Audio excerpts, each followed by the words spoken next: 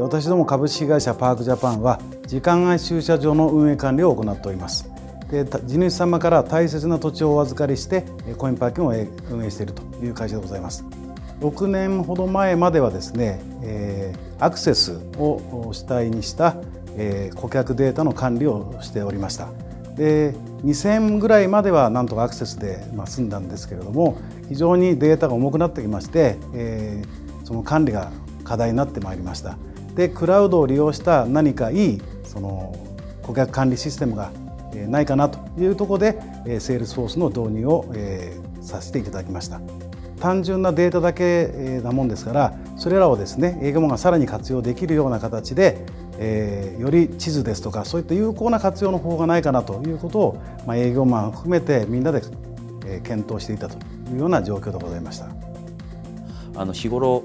えー、営業マンが活動するためにはですね地図をこうコピーしたりなんあのもう情報を落とし込んだり書いたりっていろいろやらなきゃいけないんですね。でこれがですねもう非常に一日のあの時間の中でいるあの大きなあのウェイトを占めてましてでもこういったところがあの改善できればですねあの営業時間の確保ですとか、まあ、業務の円滑化みたいなことでですねあの結果的にその売上アップにつながったりとかあのそういったいろんないい効果が生まれるんではないかということを期待してましたね。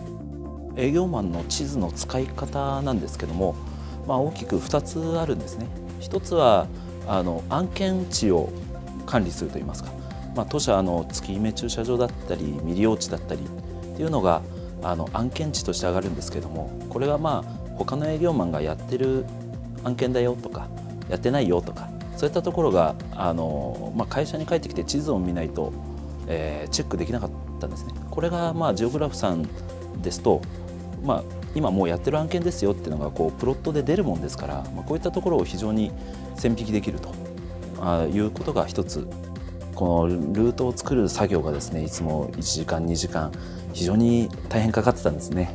でこれがですね、まあ、あの当社営業マンにですね iPad を全員に支給しておりましてであの iPad を使ってですね出先のこう空いた時間移動中の電車の中でもですね近くの地主様を検索したりとかあとまあ事務所の方でですねあの明日のルートを作るとかそういったことが非常に簡単になったもんですからあの、まあ、もちろんあの訪問営業件数ですねあの目標達成できない営業マン前もちらほらいたんですけども最近ではもうみんなみんなも頑張ってですね達成できるようにもなってきましたしそういうルート作りにかかる時間もですね1時間とかかかっ1時間2時間かなかかってたものが5分10分で終われるような形になってきまして非常にあの効果があったかなというふうに思ってますね。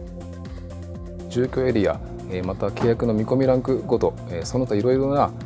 ランクに分けてデータを表示してパソコン上で事前に営業ルートを考えておきます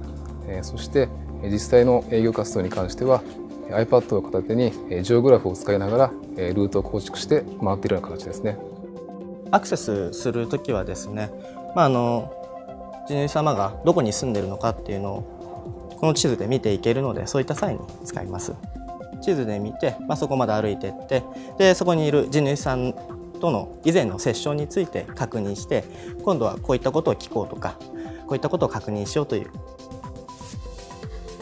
オークニーさんは、えー、セールスフォースのパートナーシップの中でも非常に力を発揮している会社さんでいらっしゃいます。でやっぱりクラウドのシステムを最大限に活用するには、えー、より、えー立派なといいますかね力のある人材を活用していただいて、えー、さらにあのより使いやすいソフトということの開発を期待するわけです。